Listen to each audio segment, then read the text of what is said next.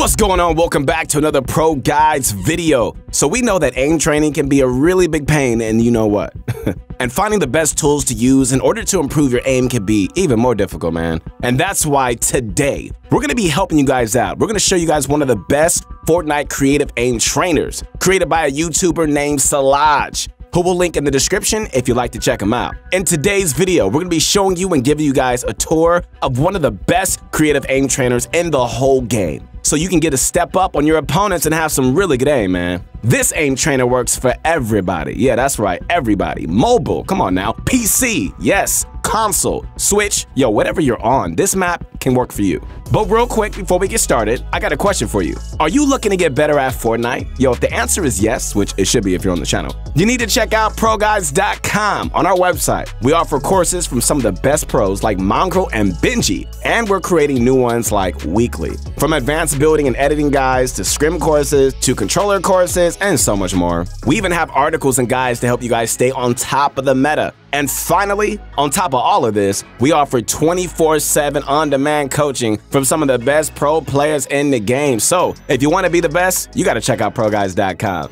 Now, the last thing before we get into this amazing video, we got to do today's question. And today's question is which creative map do you use the most and why? Let us know in the comments. You know, I'm pretty sure that uh, you guys got some good stuff. I'm looking forward to seeing which maps you all like. What's going on, guys? It is your motivation guy. That's right, your friend, the one and only Keith Allen. I am back to inspire you to not only be great in this game, but come on, say it with me, but also where? In life. So, you guys are leaders. I say it all the time, and I'm gonna keep saying it because it's time to step up. It's time to raise the bar. I'm sick and tired of followers, man. We gotta be leaders. We gotta lead people. You know what I mean? We have to change the world one person at a time. Stop complaining on who's judging you. Stop complaining on who's bullying you. Stop complaining about who's talking to you. Stop complaining who's hating on you. And just start leading. Start leading people. If they're not in your circle, if they're not for you, then you know what? You gotta keep it pushing, man. Keep your head up and just keep going, all right? Connect with me on my new Insta at Your Motivation Guy. All right, ladies and gentlemen, it's about that time. Everybody around the world, it's time to sit back, relax, and grab some of my favorite candy. Come on, y'all need to scream this out with me. It's that Bunch of Crunch. And let's get this going. The map we're going to be showing you guys is called Salaj's Aim Facility. This map has eight different courses. These include Tile Frenzy, Popcorn, Time React, Pump to SMG, Flying Zombies, One Wall, Six Targets, Single Target Flicks, and finally, the last scenario, Zombie Overrun. Most of these are actual Kovaak scenarios almost perfectly recreated but in Fortnite. So let's get started. So we're gonna be going in order from left to right for each room. And to start out, we've got Zombie Overrun. All right, so once you spawn in, you're gonna be in this lobby type area.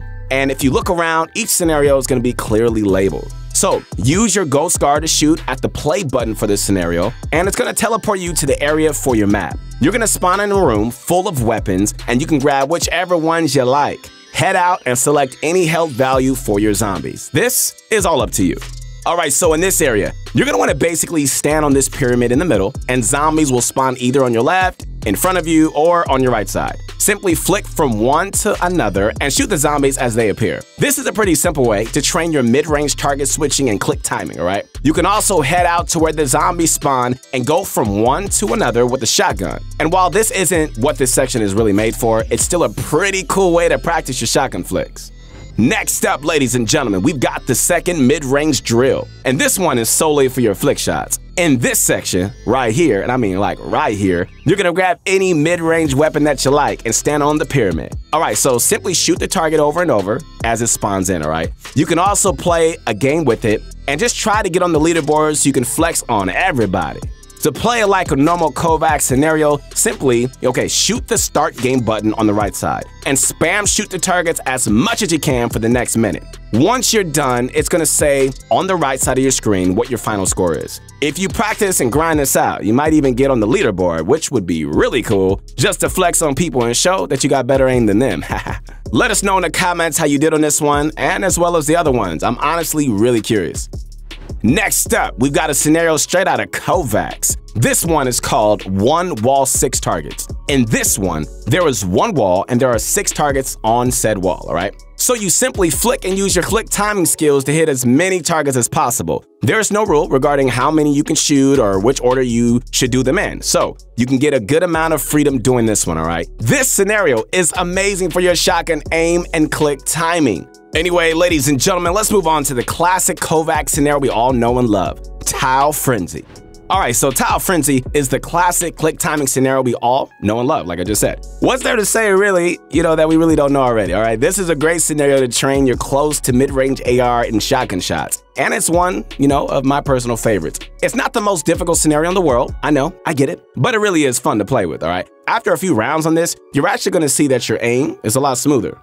So, just to be real, you know, popcorn is one of those scenarios that a lot of people struggle with. You know, tracking and click timing in midair have been a lot of people's weak points, you know, in AIM for a while. In this scenario, you know, there are a ton of ballers, also known as free win machines, and they fly around. You have the option, guys, of having them at 1 HP, which basically is a click timing scenario, or 150 HP, which makes it more of a tracking or target switching style. Whichever you do, this is some great practice.